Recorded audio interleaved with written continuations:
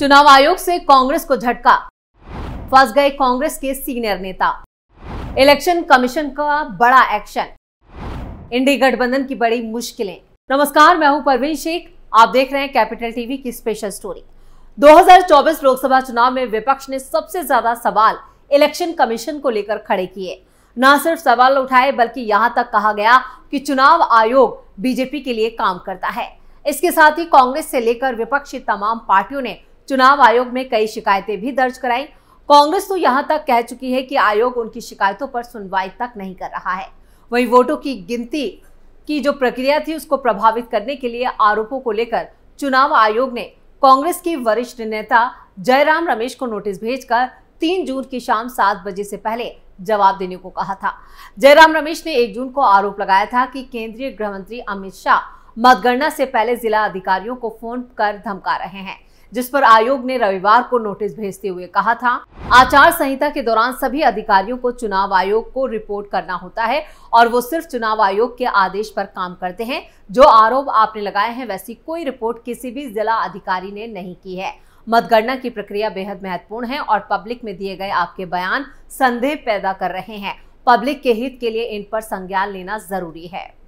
लेकिन चुनाव आयोग ने जयराम रमेश की इस अपील को भी सोमवार को उस वक्त खारिज कर दिया जब उन्होंने कहा कि वो अपने आरोपों के पक्ष में सबूत या आंकड़े पेश करें और जवाब दें। आयोग के अनुसार अगर जवाब नहीं मिला तो माना जाएगा कि मामले में कहने के लिए आपके पास कुछ भी ठोस नहीं है और चुनाव आयुक्त तो एक्शन लेने के लिए आगे की कार्रवाई करेगा। चुनाव आयोग के इन तेवरों से साफ़ है कि अब जयराम रमेश की खैर नहीं है। वो बुरी तरह से फंस चुके हैं। क्योंकि चुनाव आयोग ने तीन जून की जो डेडलाइन दी थी और शाम सात बजे तक जवाब मांगा था। लेकिन जयराम रमेश ने अपना जवाब और अपने बयान के लिए कोई सबूत पेश नहीं किया, जिससे साफ़ है कि जयराम रमेश ने चुनाव आयोग पर झूठे आरोप लगाए थे। वैसे चुनाव आयोग ने भी जयराम रमेश के आरोपों को पूरी तरह खारिज कर दिया था और कहा था कि किसी भी डीएम पर गलत दबाव डालने की कोई कोशिश प्रकाश में नहीं आई है। यानी कांग्रेस के सीनियर नेता अब बड़ी मुसीबत में फंस सकते हैं। चुनाव आयोग ने कांग्रेस नेता जयराम रमेश की उस याचिका को खारिज कर दिया, जिसमें उन्होंने सबूत देने के लिए एक हफ़्ते का वक्त मांगा था। दरअसल, जयराम रमेश ने आरोप लगाया था कि केंद्रीय गृह मंत्री अमित शाह लोकसभा चुनाव के मतदान समाप्त होने के बाद से 150 जिला अधिकारी यानी डीएम को फ़ोन किया था और चुनाव आयोग ने रमेश से तथ्यात्मक जानकारी और विवरण मांगा था। कांग्रेस नेता को आयोग ने सोमवार शाम सात बजे तक जवाब देने के लिए कहा था और इससे पहले दिन मुख्य राजीव मुख्य चुनाव आयुक्त अगेन इससे पहले दिन मुख्य चुनाव आयुक्त राजीव कुमार ने जयराम रमेश के आरोपों पर प्रतिक्रिया देते हुए कहा कि अफवाहें फैलाना और हर किसी पर शक करना सही नहीं है। फिर एक माहौल बनाया गया कि देखिए ये मतलब कैसे हो सकता है ऐसा कि लार्ज नंबर में आरोज को इन्फ्लुएंस कर दिया गया है। कैसे हो सकता है देश में?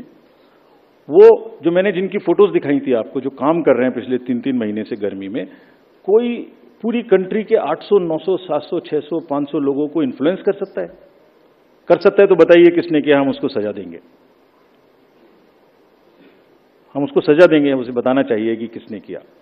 काउंटिंग से पहले बताना चाहिए किसने किया। तो कांग्रेस नेता जयराम रमेश के बयान पर मुख्य चुनाव आयुक्त ने अपने इन तेवरों से साफ़ कर दिया कि उन्हें बख्शा नहीं जाएगा। अगर जो आरोप इसी पर लगाए गए हैं, उनके सबूत नहीं दिए गए तो आयोग जयराम रमेश के खिलाफ ज़बरदस्त एक्शन ले सकता है। दरअसल जयराम रमेश ने एक जून की शाम को एक्स पर एक पोस्ट साझा की थी, जिसमें उन्होंने दावा किया था कि निर्वर्तमान गृह मंत्री आज सुबह से जिला कलेक्टर से फ़ोन पर बात कर रहे हैं। अब तक 150 अफसरों से बात की जा चुकी है। अफसरों को इस तरह से खुल्लम खुल्ला धमकाने की कोशिश निहायत शर्मनाक और अस्वीकार्य है। उन्होंने लिखा कि याद रखिए कि लोकतंत्र जनादेश से चलता है, धमकियों से नहीं। चार जून को जनादेश के अनुसार श्री नरेंद्र मोदी, श्री अमित शाह और भाजपा सत्ता से बाहर होंगे एवं इंडिया गठबंधन विजयी होगा। अफसरों को किसी प्रकार के दबाव में नहीं आना चाहिए, वह संविधान की रक्षा करनी चाहिए, वो निगरानी में है। इंडी गठबंधन के नेताओं ने चुनाव आयोग से की थी मुलाकात। रविवार 2 जून को इंडी गठबंधन के नेताओं ने चुनाव आयोग से मुलाकात की थी। इस प्रतिनिधिमंडल में कांग्रेस नेता Abhishek Manu Singhvi, Salman Khurshid, DMK T R Baalu और वाम दल की तरफ़ से सीताराम येचुरी, डी राजा के अलावा कई नेता शामिल थे। विपक्षी दलों के नेताओं ने चुनाव आयोग से यहाँ पर सामने ईवीएम काउंटिंग, पोस्टल बैलेट और चुनाव नतीजों से जुड़े मुद्दों को सामने रखा था। चुनाव आयोग से मुलाकात के बाद मीडिया से बात करते हुए कांग्रेस नेता अभिषेक मनु सिंघवी ने कहा था कि पहला मुद्दा पोस्टल बैलेट का है। जो एक जानी पहचानी प्रक्रिया है पोस्टल बैलेट परिणाम में निर्णायक साबित होते हैं। इसलिए चुनाव आयोग का एक प्रावधान है, जिसके अंतर्गत कहा है कि पोस्टल बैलेट की गिनती पहले ही की जाएगी। उन्होंने कहा कि हमारी शिकायत थी कि चुनाव आयोग ने 2019 की डेडलाइन से इसे हटा दिया है। इसका परिणाम यह है कि ईवीएम की पूरी गणना हो जाए, उसके बाद अंत तक भी पोस्टल बैलेट की गिनती की घोषणा करना अनिवार्य नहीं रहा है। ये ज़रूरी है कि पोस्टल बैलेट जो निर्णायक साबित होता है, उसकी गिनती पहले करनी अनिवार्य है। इसके अलावा नेताओं ने वोटों की गिनती के वक्त सख्त निगरानी रखने की भी मांग की है। शिवसेना यूबीटी ने उठाए थे सवाल। शिवसेना यूबीटी के नेता संजय राउत ने भी चुनाव आयोग की निष्पक्षता पर सवाल उठाए। मीडिया से बात करते हुए उन्होंने कहा कि चुनाव आयोग के बारे में लोगों के मन में बहुत शंकाएँ हैं। चुनाव आयोग एक न्यूट्रल बॉडी है, संवैधानिक संस्था है, लेकिन जिस तरह से बार बार विपक्षी दलों को चुनाव आयोग के सामने जाकर हाथ जोड़ना पड़ता है, कुछ बातें सामने लानी पड़ती हैं और चुनाव आयोग भी सुना अनसुना करता है। ये निष्पक्ष संस्था के लक्षण नहीं है। संजय राउत ने कहा, पीएम चुनाव के दिन ध्यान के लिए बैठते हैं और चैनलों का पूरा फोकस उनके पास आता है। एक प्रकार से ये चुनाव संहिता का उल्लंघन है। जयराम रमेश ने कहा कि देश के गृह मंत्री, देश के 150 कलेक्टर्स और डीएम को फ़ोन करके जो जानकारी देते हैं, ये कोड ऑफ़ कंडक्ट का उल्लंघन है। पोलिंग एजेंट्स को जिस तरह से रोका गया, ये ठीक नहीं है। ये पहले नहीं हुआ। उन्होंने कहा कि इस देश में चुनाव आयोग को कहना पड़ता है कि आप एक स्वतंत्र संस्था हैं। आप समझ लीजिए कि आप किसी के गुलाम नहीं है, चाहे बीजेपी हो या फिर कोई दूसरी सत्ताधारी पार्टी हो। चुनाव आयोग बीजेपी की शाखा की तरह काम कर रही है, इसलिए इस देश का लोकतंत्र 10 सालों से खतरे में है। आम आदमी पार्टी ने क्या कहा? आम आदमी पार्टी के नेता और राज्यसभा सांसद संजय सिंह ने आरोप लगाया कि चुनाव आयोग निष्पक्ष संस्था की तरह काम नहीं कर रहा है। मीडिया से बात करते हुए उन्होंने कहा कि चुनाव आयोग कोई व्यंग रचनाकार नहीं है, वो कोई कवि सम्मेलन का मंच नहीं है, वो एक गंभीर संस्था है, उसकी एक गंभीर ज़िम्मेदारी है, उन्हें कुछ प्रश्नों का जवाब देना चाहिए। पूरे देश का चुनाव आप संपन्न करा रहे हैं, राजनीतिक पार्टियों के प्रति आपकी जवाबदेही है, आपको निष्पक्ष चुनाव करवाने के लिए तनख्वाह मिलती है। अगर आपसे कोई प्रश्न पूछ रहा है तो आप व्यंग क्यों मार रहे हैं? उसका समाधान करिए ना। उन्होंने कहा कि आम आदमी पार्टी समाधान करने बैठे हैं या कवि सम्मेलन चलाने के लिए बैठे हैं। व्यंग कर रहे हैं, हास्य कर रहे हैं, आपकी ज़िम्मेदारी है। आपने खुद 2009 में नियम बनाए, उनमें क्या बदलाव किया जा रहा है? संभवतः इस बार हम लोगों को चार प्रतिशत पोस्टल बैलेट हैं। उनकी गिनती अंतिम राउंड की ईवीएम से पहले घोषित होनी चाहिए। इतनी सी बात संजय सिंह ने कहा कि एक राजनीतिक पार्टी के नेता की तरह बात नहीं करनी चाहिए चुनाव आयोग को। वो किसी राजनीतिक पार्टी के नेता नहीं, उनकी ज़िम्मेदारी है कि चुनाव को निष्पक्ष, संपन्न कराना।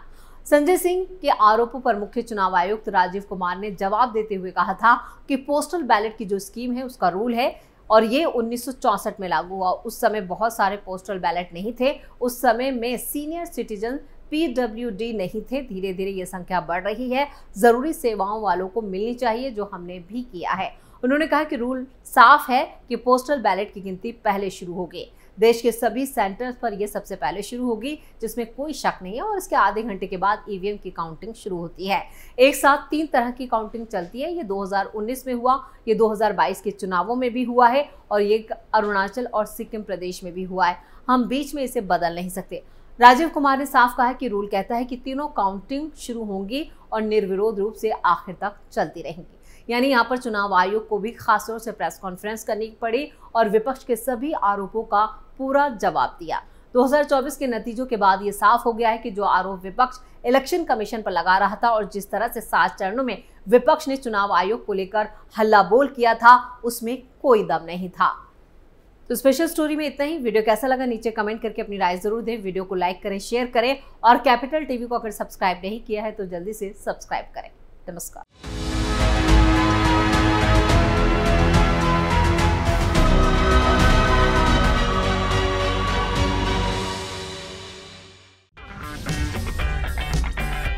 अगर आपको हमारा वीडियो पसंद आया हो तो इसे लाइक करें, हमारे चैनल को सब्सक्राइब करें और हाँ बेल आइकन दबाना ना भूलें, ताकि आप तक हमारे वीडियो की नोटिफिकेशन पहुँचती रहे।